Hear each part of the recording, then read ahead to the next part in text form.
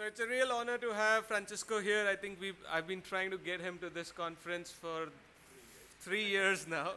And finally, we uh, got, uh, got the Erlang and Elixir conference this year, as well as Francesco. So it comes, you know, that's the trick. You need to get both of them together. Uh, so finally, we've managed that. Uh, I mean, I don't think anyone needs introduction to Francesco. Everyone knows his contribution right from the beginning of Erlang days to what he's doing right now with Erlang Solutions.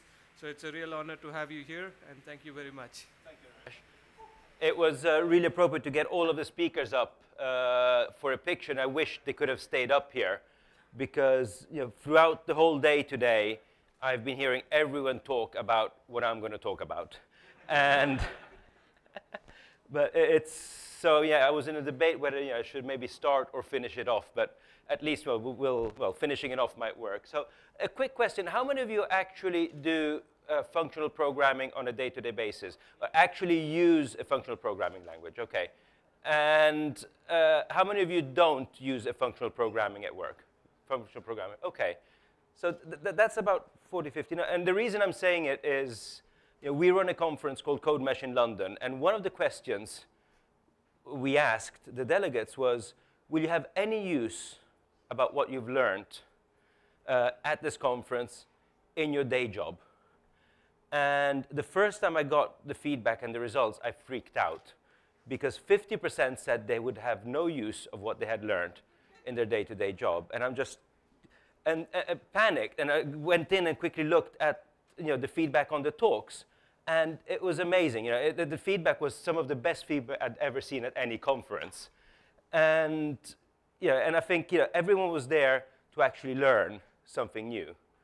And you know, this is, you know, what I'm going to talk about is, well, looking at how functional programming is actually influencing uh, us on a day-to-day -day basis. I mean, just look at Java 8. Look at the functional paradigms which have come in. Look at, you know, those who listened to my talk yesterday understood how functional programming actually influenced Erlang after Erlang had come out, with Phil Wadler convincing Joe Armstrong to add lambdas and you know, to add list comprehensions as well, to sneak in lambdas and list comprehensions into the language. So, I mean, my, my journey with functional programming started in 1991. And you know, it was, um, they taught us ML in university. It was the second language uh, they taught us. It was four weeks into my computer science degree. That's when they slammed down the first book. I was speaking to someone, one of the delegates outside earlier. Oh, yeah, Sweden's pretty strong on functional programming just like, yes. And, uh, but the real love affair, I think, with functional programming started uh, three years later. It started in 1994. So I was taking the parallel programming course at uh, Uppsala University. And the lecturer came in, and he waved this book out. I don't know how many of you have actually seen a picture of it, let alone you know, held a copy of this book. This was you know, the very first, oh, we've got one of the co-authors in the back, yes, one of the three co-authors in the back. Robert, this was one of the most expensive books I've ever bought, right? Um, so he waved this book and said, this is the book, read it. Then he took a bunch of exercises. These are exercises, shoved them on the, shoved them on the book and said, do them. And that was pretty much all we heard, you know, Erlang being mentioned. That's all we heard about Erlang for the rest of the course. Uh, instead, you know, off you know, he went and lectured about the horrors of parallel programming. Now, the exercises you know, consisted of a, uh, of a simulation. So we had to do the graphical part in Tcl/Tk, and we had to do the back end in Erlang. And the exercise was a simulation where you know, we had a rabbit uh, rabbits going around. Rabbits would go around looking for carrot patches. And then we had wolves going around hunting the rabbits. Uh, wolves and rabbits had to display some form of intelligence. So if a rabbit found a carrot patch, it'd go in and broadcast to all the other rabbits, hey, there are carrots over here. And the wolves, you know, whenever they saw a rabbit, they'd broadcast all the wolves within a certain radius, hey, there's food here, you know, come eat. And when the rabbits saw a wolf, they'd you know, shout fire, shout danger to all the other, well, rabbits within their vicinity. And so they'd start running away. And, the goal was to create a balanced world. Every, um, every uh, uh, rabbit was a process, every wolf was a process, every carriage patch was, was a process. And it was really, really fun to watch. Uh, it was, you know, the, the intelligence displayed was, well, questionable. I think this was kind of the first array. You know, so you had a rabbit running away from a wolf straight into a pack of wolves, and then it would start running back, and then it would just freeze, and then, yeah, it, it was fun to watch. Now, what was interesting in it is I remember actually going in and you know, typing PS minus EF.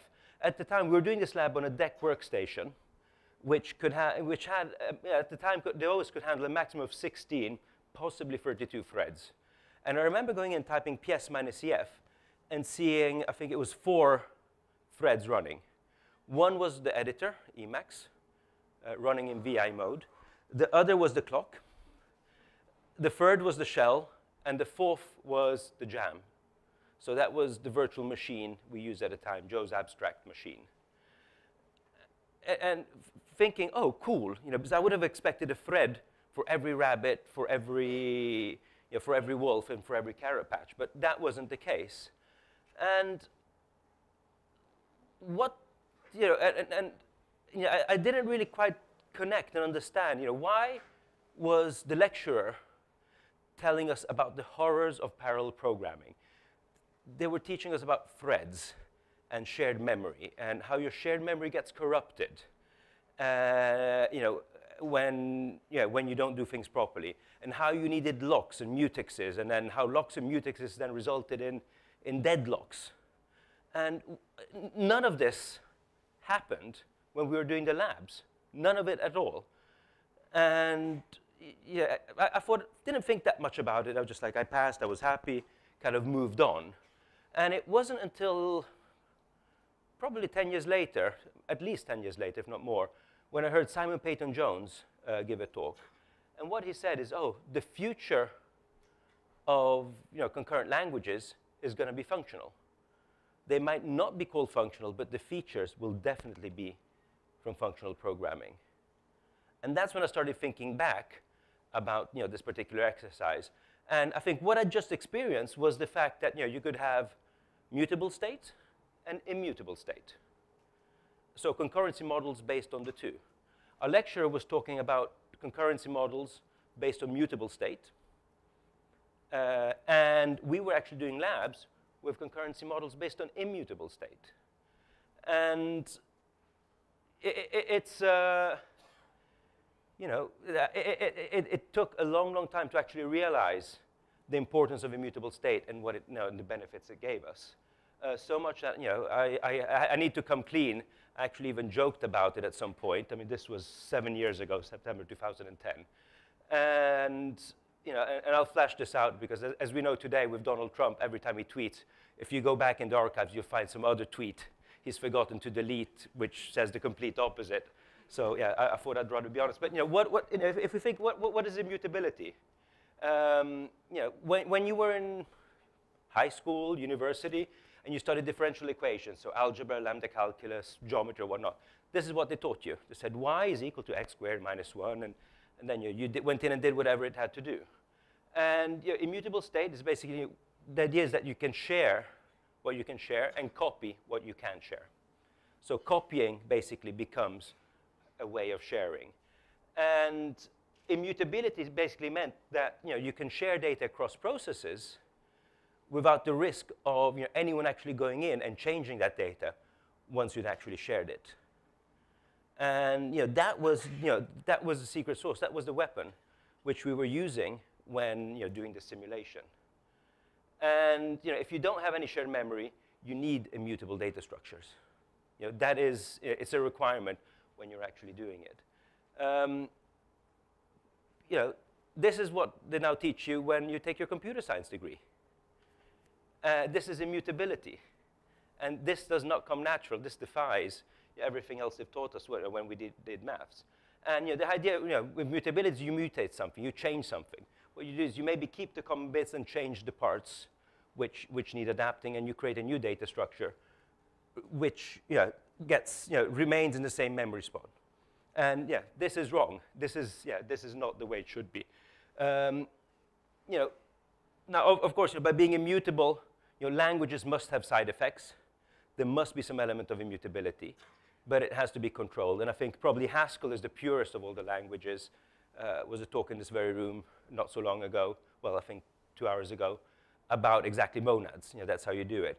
Uh, there was a great talk this morning about Rust, and how about Rust allows you to switch from mutability to immutable state back to immutable state. Uh, in Erlang, we, the way we do it is with ETS tables, with message passing, or through I.O. So you, know, you, you need some form of immutability, sorry, in any programming language, else you know, the, the only use you will have of your computer is basically you know, you'll run your CPU, your cores at 100%, and you, know, you can use in cold countries at least to heat up your house. But you, know, you won't get any use out of it otherwise. And you know, if you have threads, you know, shared memory is fine, uh, as long as you keep the shared memory or the mutable state within the thread. But as soon as you start dealing with you know, multiple threads, obviously you need to have that thread display immutability. And you need to copy the data from one thread to another. So you know, what we learned is, yeah, that there are two ways of doing concurrency. So if you look at, you know, with mutability, uh, you know, what happens right here if your program crashes whilst you're executing the critical section? It goes bang, it explodes, and your memory all of a sudden gets completely corrupted. You don't know what state you've left your memory. And that means going in and terminating all of the threads which might have some form of an access to that memory. The other problem with mutability is locality. You know, assume we've got a process running in London, we've got one running here in Bangalore. Where do we locate our shared memory? Yeah. Let's assume Dubai. Uh, let's assume Dubai, which is kind of halfway in between. Uh, we now need yeah, to access that shared memory which adds latency, which adds a huge cost to it. And not only, what happens if your connectivity goes down? And you know, it's not if your connectivity goes down, it's when your connectivity goes down. And I've said this before, you know, there are three certainties here in life. The first is you know, taxes, death, and network issues, network partitions. And you know, it's, uh, you know, it's not if but when. Now, you know, shared memory with mutability will work, but it will only work on a single machine, assuming nothing goes wrong. And I'm not dissing you know, uh, mutable state. There is a very, very big important need for it, and there are use cases for it where it is critical and you must have it. Uh, concurrence is not one of them. If you've got immutable state, so basically where you know, you've got two processes, they don't share memory, and they communicate with each other through message passing, uh, something goes wrong, your state doesn't get corrupted because you will lose the state of the process which terminated, but you know, the process which is running will keep on running because it's got its own copy of the data. That's, you know, that, that's really pretty, that's pretty important. And not only, but it was most likely a corrupt state which caused the process on the right-hand side here to terminate in the first place. So by terminating the process and getting rid of the state, you, you hopefully solve the problem. Uh, locality, well, you don't locate state, you copy it. So you know, if we're running a process in London and one in Bangalore, each process ha will have its own copy of the data. It's, you know, will work pretty, you know, it's going to be pretty straightforward. And finally, if your network connectivity fails, yeah, each process will continue running. They've got the data they need to continue running, what's important is that when the network connectivity comes back up again, your data needs to converge back. And yeah, there are libraries you can use for that. There are CRDTs, there are data types. There are you know, distributed databases which, which you can use. So I, once again, I step back a second, and I, I got inspired this morning. Oh, sorry.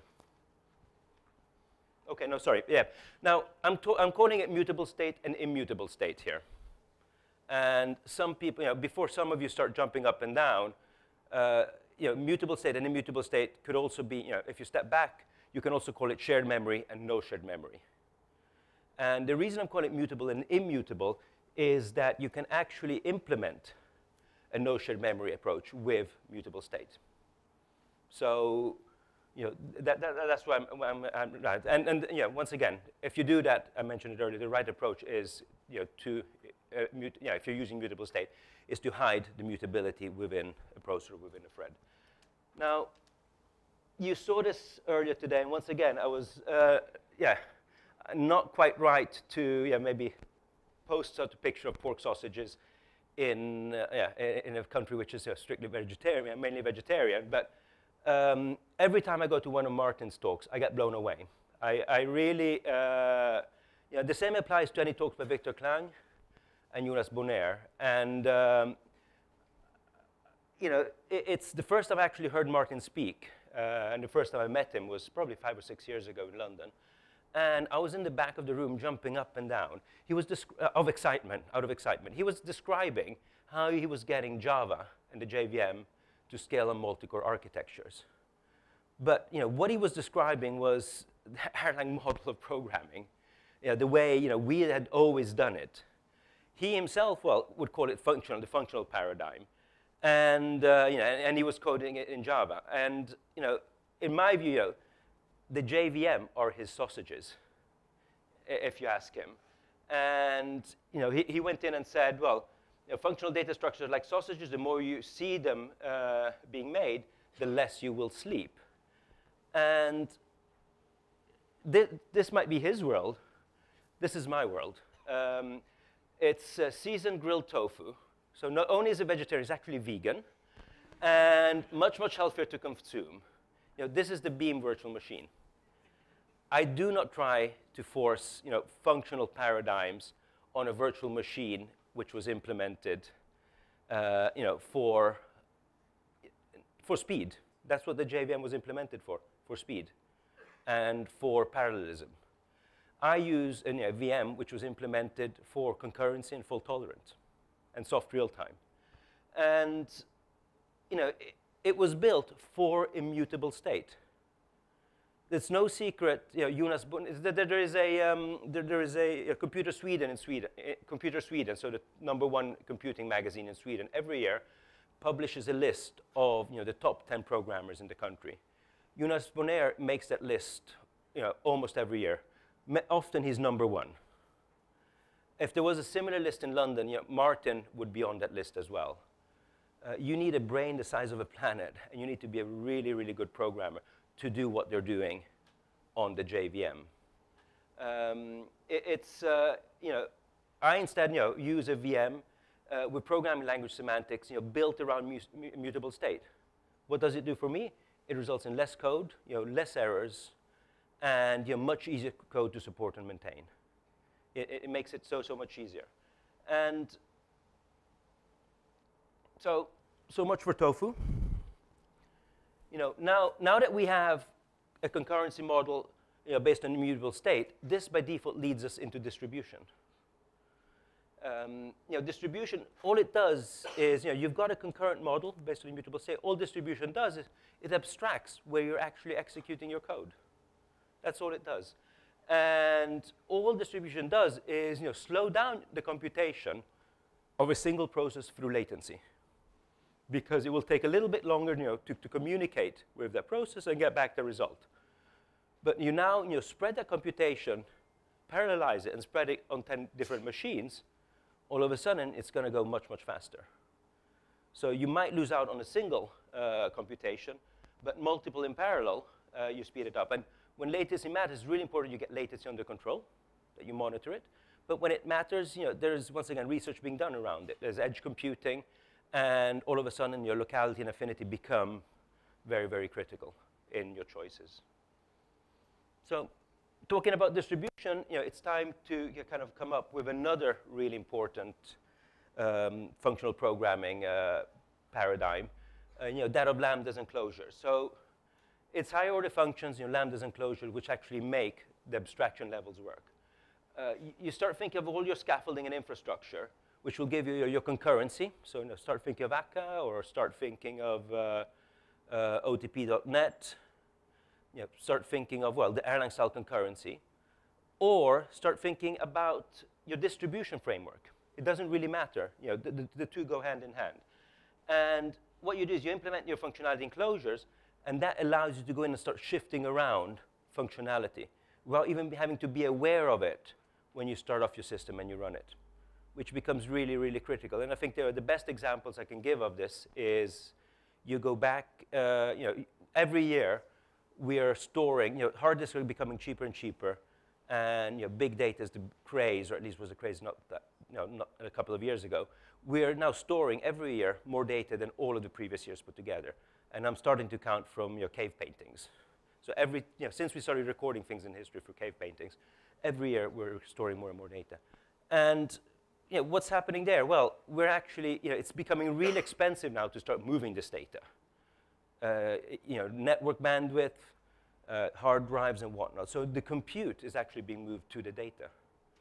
And how do you move compute to the data? Well, lambdas and closures. And it will work because you have local data and you're not sharing it. So, you know, lambdas and closures, I'll come back to that later. But now, now that we've got that, you know, here are just two uh, embedded devices. On the left is a Parallella board. I don't know how many of you have heard of Adapteva, but they've got a dual-core ARM processor and an Epiphany uh, core, uh, an Epiphany coprocessor. The Epiphany coprocessor has either 16 or 64 cores. The 16-core one costs, I think, about 100 bucks. The 64-core one, two, 300, 300 bucks. And it consumes about three to four watts of energy. So be clear, it's a co-processor, so it's not a main processor.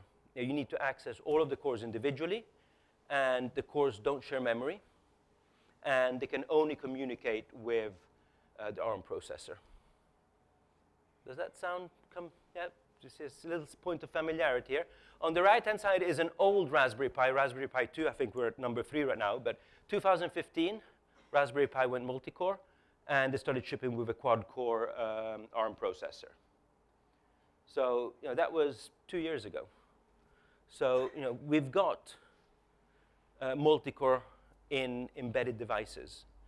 Uh, let's take it to the other end. You know, in 1980, a Cray 2 was considered a supercomputer. iPhones have much, much more processing power than a supercomputer from, you know, from the 80s. Uh, the fastest computers in the world, uh, the Sunway um, TaihuLight, uh, from the Chinese National University of Defense Technology. Uh, it gives you about 93 trillion floating point operations per second and consists of 10 million cores. I'm sure the NSA has a much, much faster computer than this, but I don't think they'll run up to it. If we've got any American friends here who can confirm it, please do. But um, what you know, the Raspberry Pi and the Parallella board and you know, supercomputers have in common is the whole concept of you know, heterogeneous cores. And you know, very soon, your future architectures will have CPUs, your GPUs, you know, they'll have you know, graphical cores, your heavyweight CPUs, lightweight integer units, DSPs, you know, cores for security, NOCs, which is a, a network on a chip, I.O. and soft cores and so on. Pretty much, you know, the shift to multi-core is inevitable. And parallelizing legacy C or Java code is very, very hard. You know, debugging parallelized C and Java is even harder. And you know, how, how, how do you tackle? How do you program this? You know, are, are today's technologies appropriate? Uh, this is a tweet um, from the founder and CEO of Adapteva from probably, well, from two years ago, July you know, 2015, where Kostis, who should have been here today, unfortunately had visa problems, uh, actually managed to get Erlang's actor model, Erlang's processes, to run on the individual cores of the, the, of the Epiphany chip, on the coprocessor. And once again, very simple. You're able to start a process. The process had to run its sequential code, and then it would send back the data uh, to the ARM processor. So you know, each and one, you know, and they wouldn't be communicating with each other. Um, not, not a big deal, you'd say. Well, the big deal is that you know, the Epiphany coprocessor and the parallel board consumes about three to four watts of electricity, at least the 16-core variant. So no electricity at all. And it's really hard to visualize this stuff. Uh, you know, and even you know, to start thinking on how you tackle these new architectures um, you know, you need a new mindset right here. You, you, need a new mindset, you need a new approach and new ways of thinking. And, you know, there'll be technologies which will actually go in. I mean, there's research going on now which will self-discover what hardware it is. It will then take a piece of code and you know, rewrite it, refactor it, and adapt it and run it on particular chipsets once it's figured out what it should be running on. And if, if we just think of, you know, and I think you know, immutability and no-shared memory remains key to this approach. Uh, just, just think, you know, in our lifetime, I think we'll probably see home computers with a million cores. It's, you know, that's how fast it's going. Andreas, I mean, he has a design for a chip with 1,024 cores, which, you know, he's able to produce, which he did on behalf of, um, of a customer in the States. And, uh, and that's today. So, I mean, we'll be looking at a million cores. And if you have a million cores, you'll have a core, you know, the chances of a core failing, you know, increases exponentially. And you'll probably have, you know, a million cores, you'll probably have a core failing every couple of minutes uh, initially. And, you know, with immutable state, you know, handling the failure of a core, you know, becomes exactly the same as handling the failure of a process. It becomes exactly the same model. So just to look at you know, what we discussed here. So we've got immutability.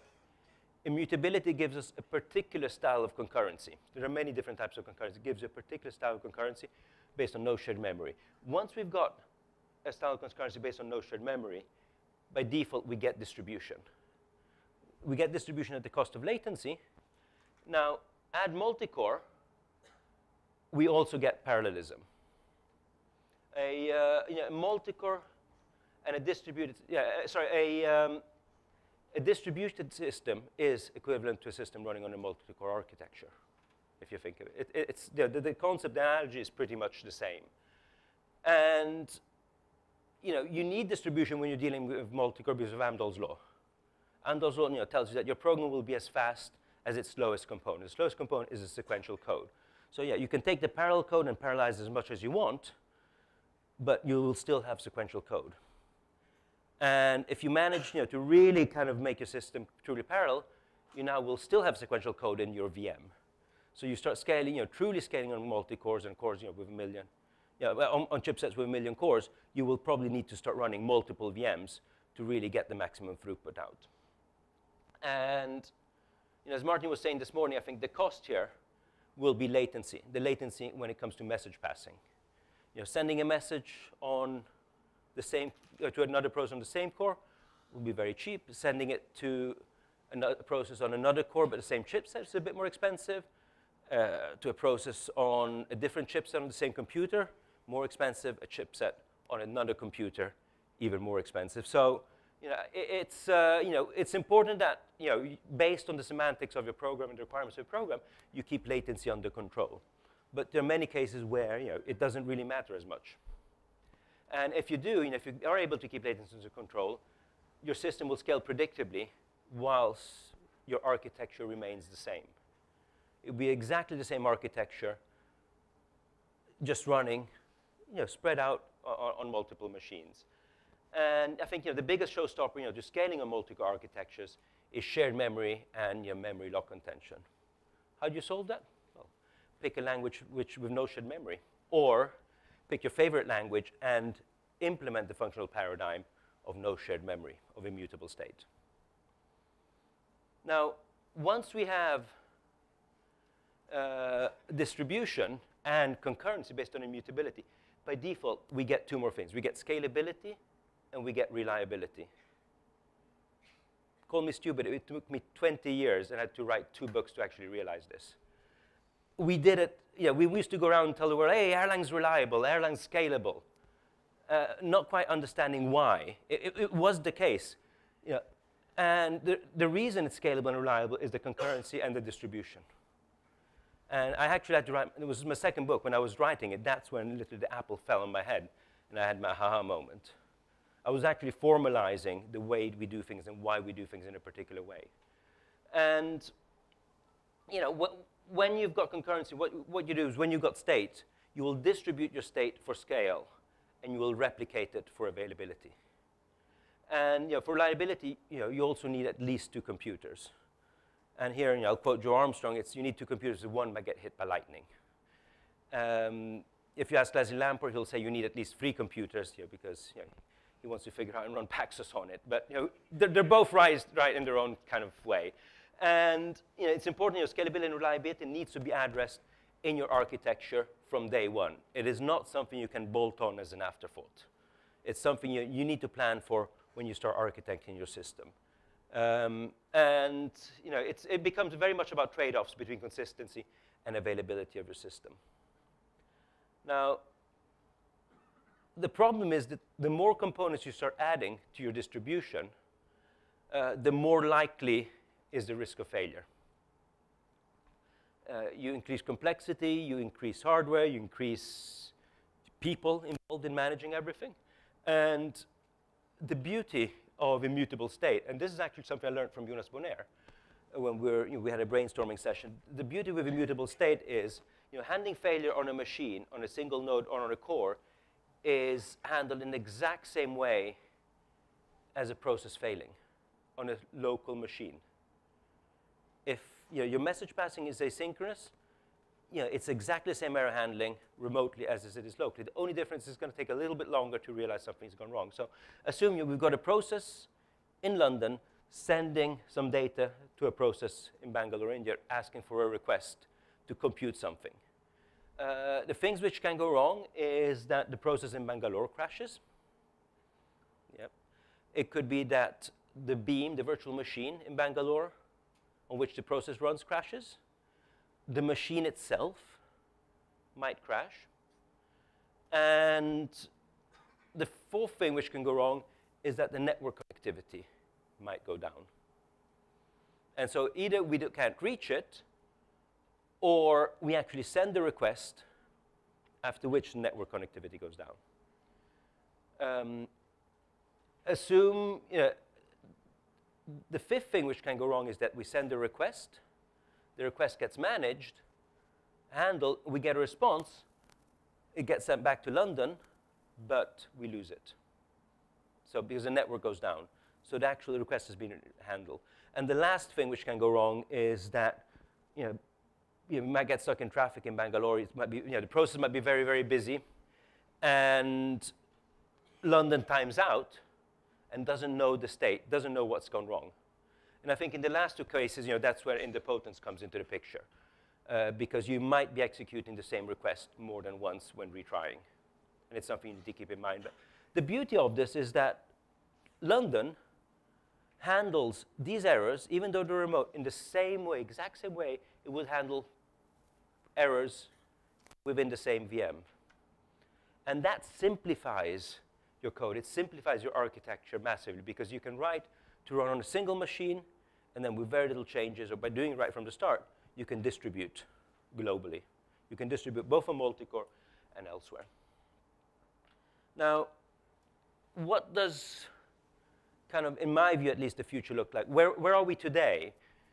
Now, today, what I'm seeing happening out there is that, you know, initially, we abstracted memory management through garbage collection. And I have to say, I kind of disagree with uh, Martin that immutable state complicates the garbage collector. If you've got a garbage collector which only needs to deal with immutable state, it's really, really, really easy to write. Because all you need to do is follow a tree, variables available, you can free it or you cannot free it. There's a great paper which was written by the lab in uh, uh, the early 90s, which I recommend you do. Now, if your garbage collector was written for mutable state, then yes, uh, he is entitled to his gray hair. So first of all, you know, we abstract memory management for the garbage collector. Second is we abstract concurrency through OTP. So we give processes behaviors, but what we're doing now, we're not sending messages or copying data anymore. We're actually calling a function call.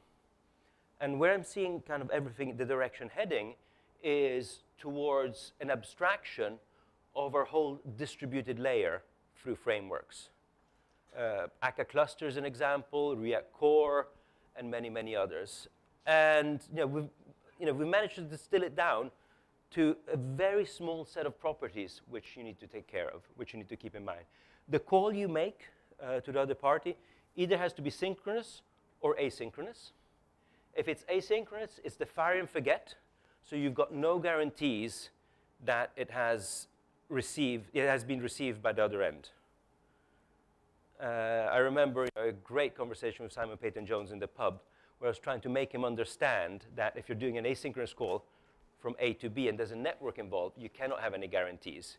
Said, no, no, but we need to have guarantees, he goes. We cannot lose messages. You know, it, was, it was out of his, uh, Uh, you know, but then, it, then it's a synchronous call. Oh, uh, okay, it could be a synchronous call, but you know, at least the user thinks it's asynchronous. And, you know, and then starts thinking, we maybe need to do a two-phase commit across the network. No, no, no, son, that's expensive. You know, it's expensive, it doesn't work. You need to accept that if it's an asynchronous call, you send it, you fire it off, and you might lose it. You need to put that in the semantics of your program. And the same you know, within a single node. The second part is synchronous. If it's a synchronous request, you send a request, and you get back a response. If you get back a response, great.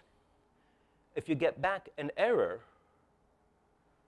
you need to decide what to do at that point. That's, that's the failure. And you either have at the most once, so when you get back an error, you don't know the state. Yeah, it's also called at most once with notification. You don't know the state the other party you know, has been left in because they could have received the message and executed your call, or the message could have been lost in the first place. You can have, sorry, uh, this was exactly once, yeah. Um, uh, if you have at, le- at, at, the most once was asynchronous, and at least once, you, know, you send a request, you get back an error response, you try again, and you continue trying on the same process or different processes, different nodes, until you get a response.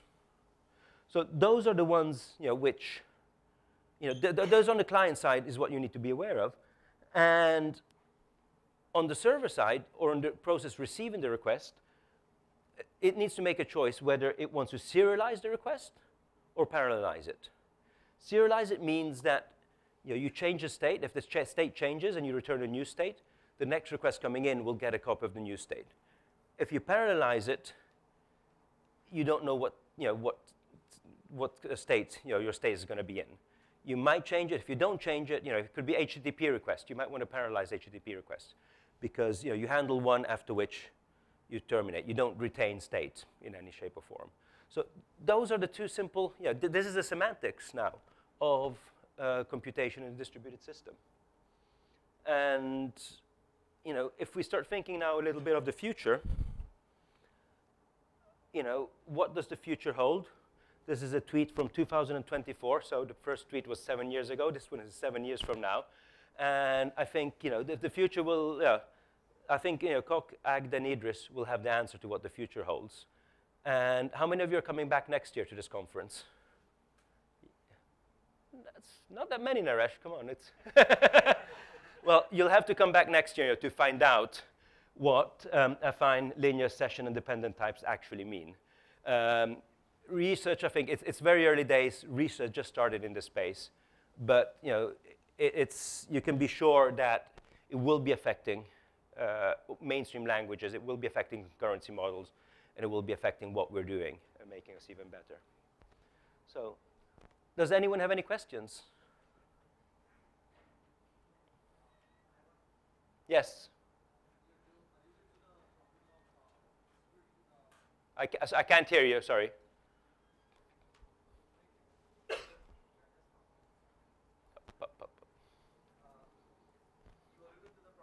You, uh, Francesco, for giving us a view into how you see the future. Uh, I think uh, I was actually seeing, I was thinking about uh, how, what the APL guys would respond to that, but that's probably something We've had we some great discussions over these last three days. We yeah. can take that uh, for the next conference.